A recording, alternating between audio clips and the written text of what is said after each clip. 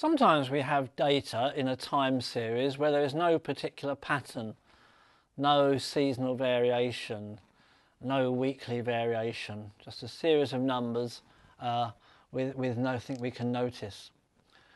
We still want to be able to predict what's going to happen next. And the way that we do this is by a method called exponential smoothing.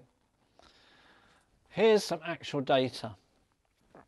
The idea of exponential smoothing is to make a forecast based on the previous result and then correct it, correct the following forecast by how much the previous one was out. So let me try and explain that. Here is our actual data. Let's make a, another column now of our forecast data, which we always call y hat. This is our estimate.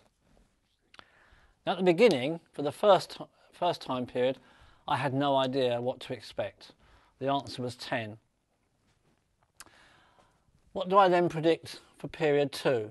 Well, all I've got to rely on is the fact that the previous result was 10. So I'm going to predict 10 for the next one. But what actually happened? I got 18. So my next forecast, I need to update this a bit. I need to adjust it because it was quite a bit, uh, quite a bit low. And the formula that we use for any particular forecast, y hat, at a time period t plus 1, in other words, the next time period, we say it's the previous forecast which was the forecast at time t, plus some number, alpha, which we'll talk about in a minute, times the error. How wrong were we before? And the error is the actual value at t minus what we thought it would be at t. So let's work through this taking alpha as 0.3. and in a minute we'll talk about how we might choose alpha. So with alpha is 0.3, my forecast for this time period, if you like time period 3, would be that y hat at 3 is y hat at 2, my forecast for time 2, which was 10, plus 0.3 times, what was the error? Well, I thought it was going to be 10, but we actually got 18. So it's 18 minus 10. That's 8. 0.3 times 8 is 2.4. Add on to 10. So my forecast for time 2 is 12.4. I was way out. It actually shot up to 29. So again, for my following forecast, because I'm not expecting any pattern, just because it went up to 29 doesn't mean it's always going to stay there. So my next forecast, Y4, will be my previous forecast plus 0.3 times how wrong was I that time? Well, I thought it'd be 12.4, but it was actually 29. So the error was uh, 16.6 multiplied by 0.3, add on to 12.4. I can't do that in my head, and we get 17.4. So our forecast for the next time is 17.4. We actually got 15, so we're not too bad. We're, we're tracking the actual data reasonably well. What's my forecast for time 5?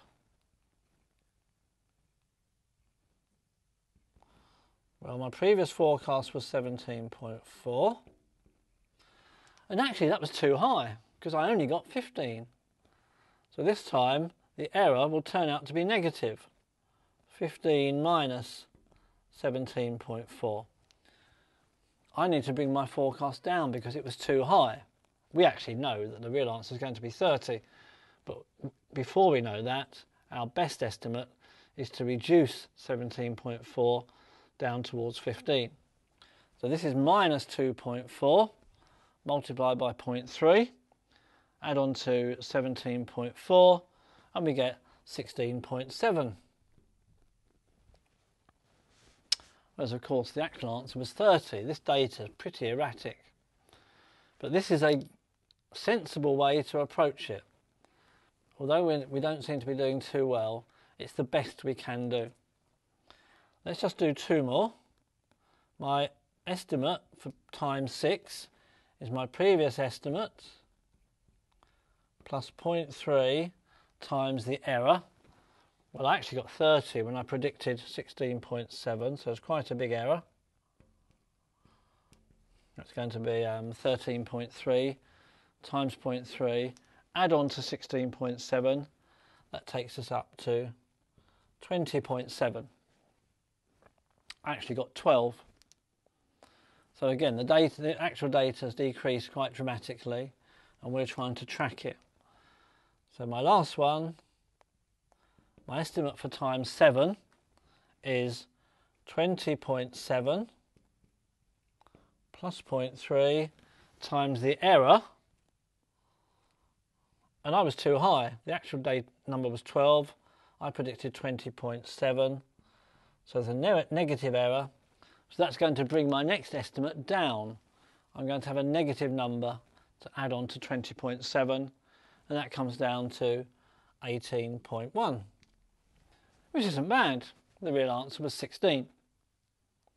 So now I make a genuine prediction. I predict that the next number, the eighth value, will be 18.1 plus 0.3 times the error. I was still slightly too high. I predicted 18.1. The real number was 16. So the error again is going to be negative. And if we work that out, we get 17.4. That's my prediction for the next value. And we would have to wait and see and measure it. That's our best prediction. Let's talk a little bit about what alpha means. There are two extremes for alpha. If we had alpha equals zero, that would mean we don't take any account of error. That the next forecast is the same as the previous one, the same as the one before that. In other words, we're not using actual values to update our forecast. We're ignoring the actual values. So one way of thinking about this is to ignore actual values and give more emphasis to the historic values, what was happening way, way back at the beginning. In this case, if alpha was zero, we would have had 10 and we would always have 10 here. So if you think that later values are a bit flaky, not very reliable, and you want to put more emphasis on the values from a while back, you want a low value of alpha. The other extreme is alpha equals 1. Because if you put alpha equals 1 here and do the algebra, you get y hat at t plus yt minus y hat of t. And so in this case, the next estimate is simply the previous actual value. So here, the next estimate equals the previous actual value. So in this case, we're saying the latest values are all that matters. We're ignoring what's happened the year before, the year before that. Whatever happened last year is what we expect to happen this year. So in this case, historic data is irrelevant. We just use the latest data.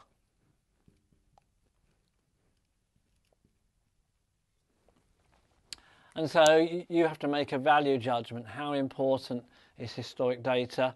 How reliable is last year's data? Might it need updating um, when the final figures come in?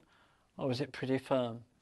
Once you've made that decision, you choose a value of alpha somewhere between 0 and 1, and then this is the method that enables you to make those following forecasts.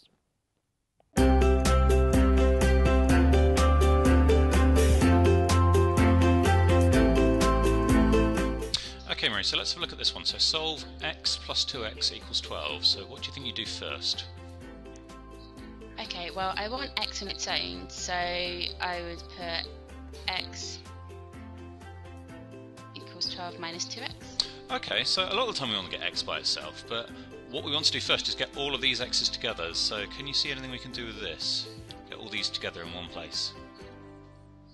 Oh, okay, it's 3x, isn't it? Yeah, so absolutely. 3x equals 12. Oh, and so x equals 4. Brilliant, spot on, well done.